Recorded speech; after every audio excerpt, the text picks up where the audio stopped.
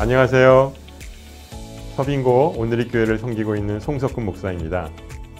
이렇게 영상으로 인사드리게 되어서 얼마나 기쁘고 감사한지 모르겠습니다. 코로나19로 인해 모두가 참으로 어려운 시간들을 보내고 있습니다. 하지만 이것으로 인해서 미국과 한국이 시공간을 초월해 훨씬 가까워지게 되었습니다. 이번에 하나님의 말씀을 사모하는 여러분들과 함께 오늘이 컨퍼런스를 갖고자 합니다. 내용은 비전 통독과 아름다운 동행 그리고 큐티 세미나입니다. 이것들은 우리가 신앙생활을 하는 데 있어서 가장 기초를 이루고 가장 필요한 내용이라고 말할 수 있습니다.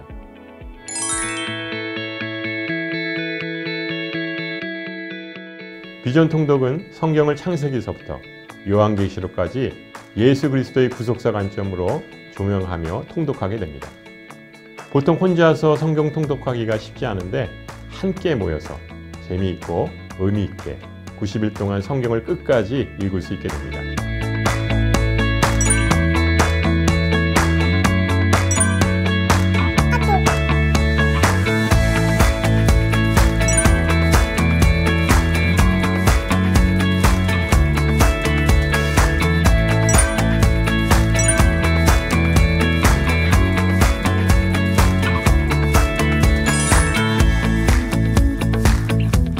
네, 안녕하십니까. 네, 강승호 장로입니다. 아, 사람들이 QT라고 하게 되면 무조건 하고 어렵다고만 생각하고 있는데요. 보통 이렇게 QT를 가르치고 있습니다. 세 번 정도 읽으십시오. 그리고 와닿는 말씀을 잡으십시오. 그리고 묵상을 하라고 합니다. 그런데 더 중요한 것은 뭐냐면 어떻게 읽느냐 하는 얘기는 설명이 없어요. 그리고 어떤 걸 내가 중심으로 잡아야 되는지도 설명이 없어요. 그러니까 결과적으로는 자기 중심의 묵상을 하는 경우가 상당히 많죠. 그러니까 말씀과 어, 다른 뜻으로 이해하는 경우가 상당히 많습니다.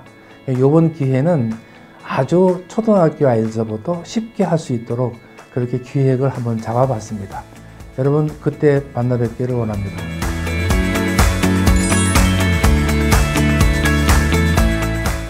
안녕하세요. 김효구 장로입니다. 아름다운 동행은 부부 코칭 프로그램입니다. 프로그램의 핵심 키워드는 부부의 친밀감을 회복하는 프로그램입니다.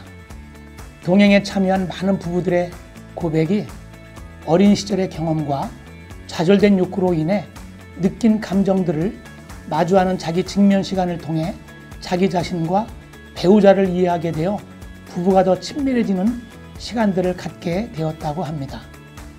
아울러 우리 부부간의 친밀감을 위한 boundary 설정, 다양한 대화법, 미션 과제와 관계 개선 훈련을 통하여 동행에 참여하는 부부의 수고와 헌신과 땀이 하나님이 함께 하시는 복된 가정, 신앙 가문의 열매를 맺을 것을 믿어 의심치 않습니다.